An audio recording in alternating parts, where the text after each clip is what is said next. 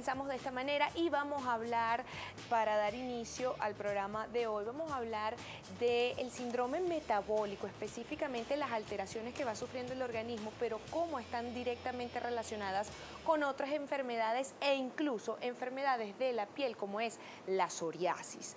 Para eso está con nosotros la doctora Ingrid Rivera, dermatólogo de Unimel. Siempre nos acompaña, qué bueno tenerte, ya tú eres de la casa prácticamente, pero tocando temas de interés pues para toda la familia, en este caso la psoriasis y esa relación con el síndrome metabólico. Y para retomar, esas personas que estarán preguntando, pero ya va, esta enfermedad es nueva, no sé qué, de qué me están hablando, sé que tiene que ver con el metabolismo. ¿Qué es el síndrome metabólico, Ingrid? Bueno, el síndrome metabólico está recientemente descrito, no llevará más de seis años, porque fue una forma de agrupar a todas unas enfermedades que se relacionan entre sí porque son estados proinflamatorios, es decir, que se llevan a la inflamación.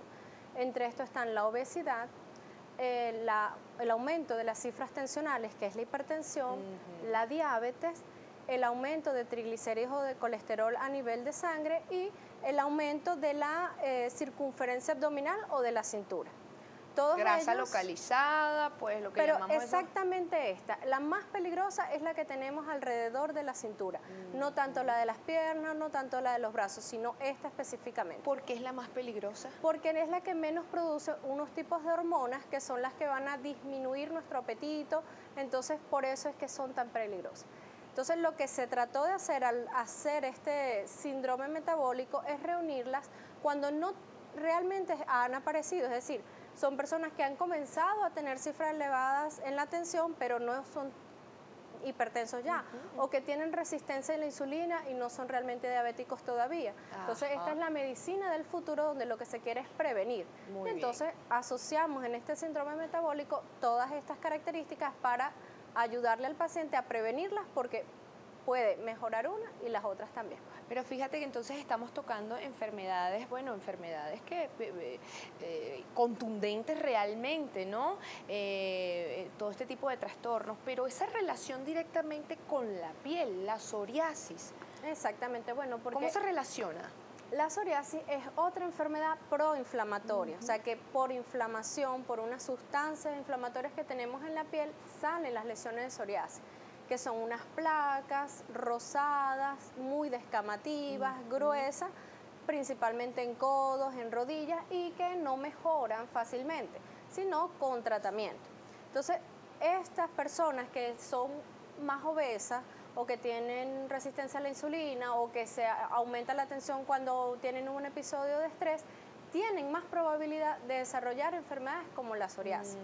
Y a su vez, las personas con psoriasis también tienen más probabilidad de desarrollar hipertensión. Estas otras enfermedades. Por supuesto. Entonces, una relación este, directamente proporcional una a la otra. Ahora, es un trabajo cuando, cuando diagnostican un paciente con alguna de estas enfermedades, tiene que también participar otro especialista. En este caso, si está atendido por el cardiólogo o el médico internista, el dermatólogo también debe chequear y viceversa, ¿verdad? Por supuesto. Si nos llega primero a nosotros, pedimos la batería de exámenes y de todo lo que tenemos que hacer para luego que el internista nos ayude con lo que nosotros no manejamos, que es diabetes, hipertensión con el nutricionista para que nos ayude a disminuir el consumo de carbohidratos o el consumo de sal, lo que esté afectando a esa persona. Entonces es un manejo totalmente multidisciplinario. Ahora, doctora Ingrid, usted dijo algo clave para que ustedes estén atentos. Podrían o pueden desarrollar la enfermedad, mas no necesariamente van a desencadenarla y para eso es que tienen que estar pilas y hacer esa eh, atención médica temprana, ¿verdad? Sí, porque muchos dirán, oye, pero yo soy flaquito y tengo psoriasis. Es decir, que no es exactamente, pero sí hay más probabilidad. Es un tema de probabilidad. Inclusive también funciona al revés. Cuando comenzamos a tratar una, es probable que la otra mejore. Hay pacientes que comienzan a tratarse psoriasis, disminuyen de peso y mejoran las dos. Hay gente, muchas de las que tienen obesidad mórbida, es decir, obesidad que ya causa enfermedad, que se hacen la cirugía bariátrica disminuyen mucho de peso, se elimina la resistencia a la insulina, bajan las cifras tensionales y la psoriasis mejora muchísimo.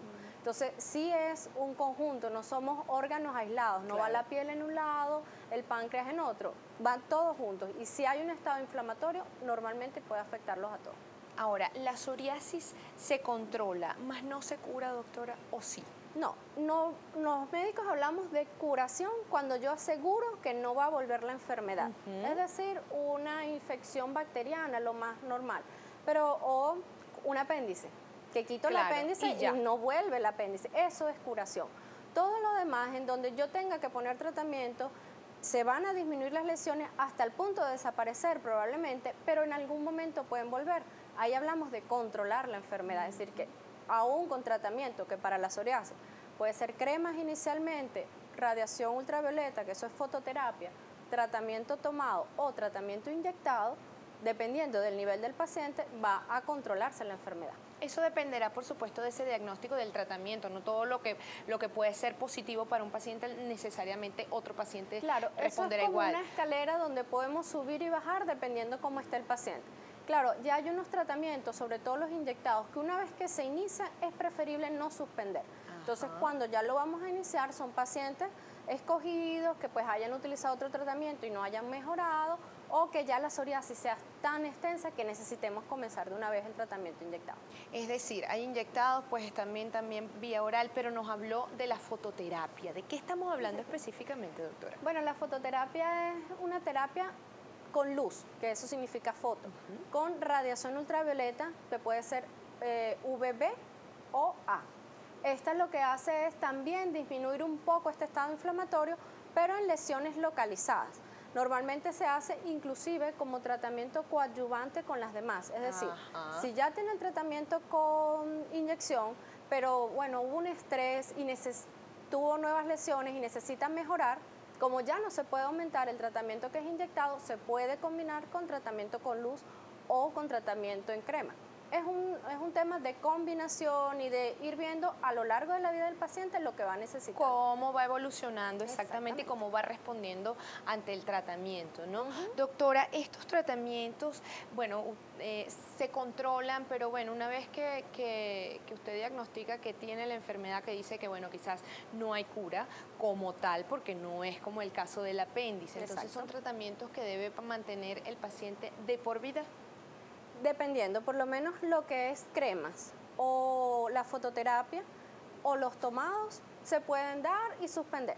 Pero ya una vez que se inician los tratamientos inyectados, que hay varias marcas, este, una vez que se inician es mejor no suspenderlos, porque cuando se tratan de reiniciar nuevamente pierden efectividad. Ajá.